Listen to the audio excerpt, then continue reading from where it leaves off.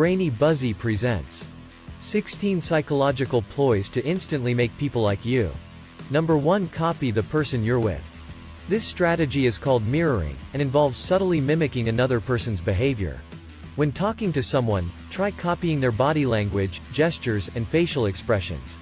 In 1999, New York University researchers documented the chameleon effect, which occurs when people unconsciously mimic each other's behavior. That mimicry facilitates liking. Researchers had 72 men and women work on a task with a partner.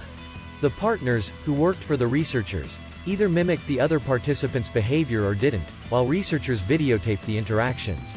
At the end of the interaction, the researchers had participants indicate how much they liked their partners. Sure enough, participants were more likely to say that they liked their partner when their partner had been mimicking their behavior. Number 2 Spend more time around the people you're hoping to befriend. According to the mere exposure effect, people tend to like other people who are familiar to them. In one example of this phenomenon, psychologists at the University of Pittsburgh had four women pose as students in a university psychology class. Each woman showed up in class a different number of times.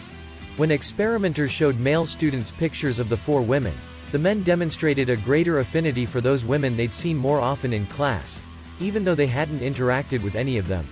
Number 3 Compliment other people. People will associate the adjectives you use to describe other people with your personality. This phenomenon is called spontaneous trait transference. One study published in the Journal of Personality and Social Psychology found that this effect occurred even when people knew certain traits didn't describe the people who had talked about them. According to Gretchen Rubin, author of the book, The Happiness Project, whatever you say about other people influences how people see you. If you describe someone else as genuine and kind, people will also associate you with those qualities. The reverse is also true. If you are constantly trashing people behind their backs, your friends will start to associate the negative qualities with you as well. Number 4 Try to display positive emotions. Emotional contagion describes what happens when people are strongly influenced by the moods of other people. According to a research paper from the Ohio University and the University of Hawaii, people can unconsciously feel the emotions of those around them. The authors of the paper say that's possibly because we naturally mimic others' movements and facial expressions, which in turn makes us feel something similar to what they're feeling. If you want to make others feel happy when they're around you, do your best to communicate positive emotions. Number 5 Be warm and competent. Princeton University psychologists and their colleagues proposed the stereotype content model, which is a theory that people judge others based on their warmth and competence. According to the model, if you can portray yourself as warm, i.e., non-competitive and friendly, people will feel like they can trust you. If you seem competent, for example, if you have high economic or educational status, they're more inclined to respect you. Harvard psychologist Amy Cuddy says it's important to demonstrate warmth first and then competence, especially in business settings. From an evolutionary perspective, Cuddy writes in her book, Presence, it is more crucial to our survival to know whether a person deserves our trust. Number 6 Reveal your flaws from time to time. According to the Pratfall effect, People will like you more after you make a mistake. But only if they believe you are a competent person. Revealing that you aren't perfect makes you more relatable and vulnerable toward the people around you. Researcher Elliot Aronson at the University of Texas, Austin first discovered this phenomenon when he studied how simple mistakes can affect perceived attraction. He asked male students from the University of Minnesota to listen to tape recordings of people taking a quiz.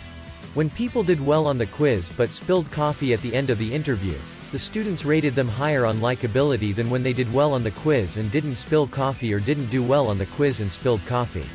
Number 7 Emphasize shared values. According to a classic study by Theodore Newcomb, people are more attracted to those who are similar to them. This is known as the similarity attraction effect. In his experiment, Newcomb measured his subjects' attitudes on controversial topics, such as sex and politics, and then put them in a University of Michigan-owned house to live together. By the end of their stay, the subjects liked their housemates more when they had similar attitudes about the topics measured. Interestingly, a more recent study from researchers at the University of Virginia and Washington University in St. Louis found that Air Force recruits liked each other more when they had similar negative personality traits than when they shared positive ones. Number 8 Casually touch them. Subliminal touching occurs when you touch a person so subtly that they barely notice. Common examples include tapping someone's back or touching their arm, which can make them feel more warmly toward you. In a French study, young men stood on street corners and talked to women who walked by. The men had double the success rate in striking up a conversation when they lightly touched the woman's arms as they talked to them instead of doing nothing at all. A University of Mississippi and Rhodes College experiment studied the effects of interpersonal touch on restaurant tipping, and had some waitresses briefly touch customers on the hand or shoulder as they were returning their change. As it turns out, those waitresses earned significantly larger tips than the ones who didn't touch their customers. Number 9 Smile. In one University of Wyoming study, nearly 100 undergraduate women looked at photos of another woman in one of four poses. Smiling in an open body position, smiling in a closed body position, not smiling in an open body position, or not smiling in a closed body position. Results suggested that the woman in the photo was liked most when she was smiling, regardless of her body position. More recently, researchers at Stanford University and the University of Duisburg-Essen found that students who interacted with each other through avatars felt more positively about the interaction when the avatar displayed a bigger smile. Bonus. Another study suggested that smiling when you first meet someone helps ensure they'll remember you later. Number 10 See the other person how they want to be seen. People want to be perceived in a way that aligns with their own beliefs about themselves. This phenomenon is described by self-verification theory. We all seek confirmations of our views, positive or negative. For a series of studies at Stanford University and the University of Arizona, participants with positive and negative perceptions of themselves were asked whether they wanted to interact with people who had positive or negative impressions of them. The participants with positive self-views preferred people who thought highly of them, while those with negative self-views preferred critics. This could be because people like to interact with those who provide feedback consistent with their known identity. Other research suggests that when people's beliefs about us line up with our own, our relationship with them flows more smoothly. That's likely because we feel understood, which is an important component of intimacy. Number 11 Tell them a secret. Self-disclosure may be one of the best relationship building techniques.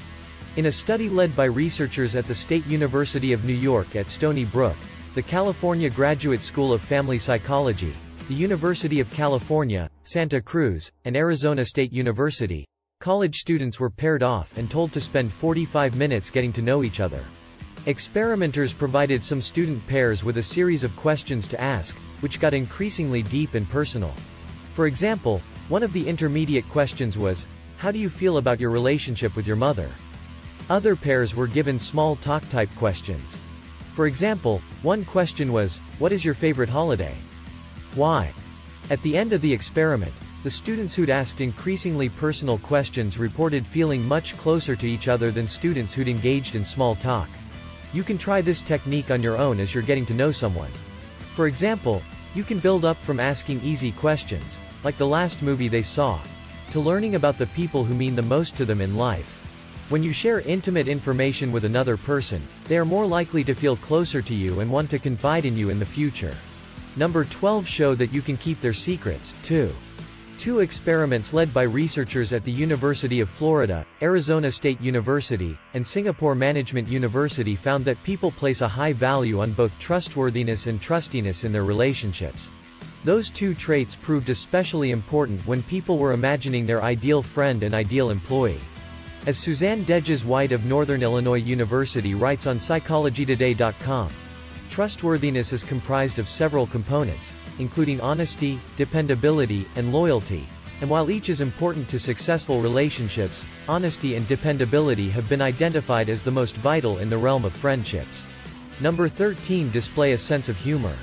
Research from Illinois State University and California State University at Los Angeles found that, Regardless of whether people were thinking about their ideal friend or romantic partner, a sense of humor was really important. Another study from researchers at DePaul University and Illinois State University found that using humor when you're first getting to know someone can make the person like you more. In fact, the study suggested that participating in a humorous task, like having someone wear a blindfold while the other person teaches them a dance, can increase romantic attraction. Number 14 Let them talk about themselves. Harvard researchers recently discovered that talking about yourself may be inherently rewarding, the same way that food, money, and sex are. In one study, the researchers had participants sit in an fMRI machine and respond to questions about either their own opinions or someone else's. Participants had been asked to bring a friend or family member to the experiment, who was sitting outside the fMRI machine. In some cases, participants were told that their responses would be shared with the friend or relative. In other cases, their responses would be kept private. Results showed that the brain regions associated with motivation and reward were most active when participants were sharing information publicly, but also were active when they were talking about themselves without anyone listening. In other words, letting someone share a story or two about their life instead of blabbing about yours could give them more positive memories of your interaction. Number 15 Be a little vulnerable.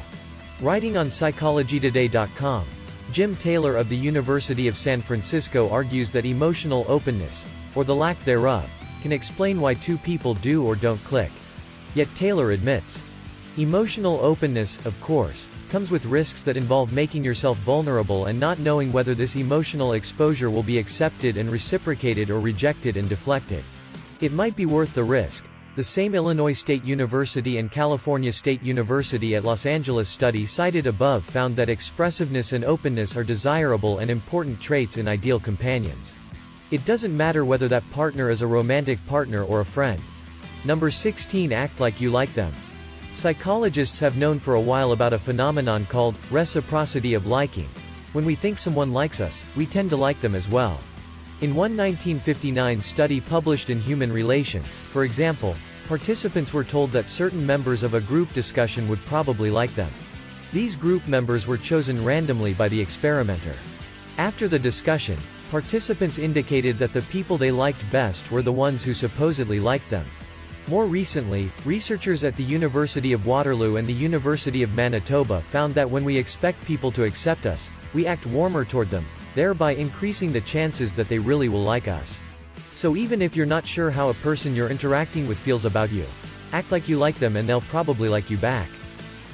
If you enjoyed this video, give it a thumbs up, and share it with your friends, so we can keep making them.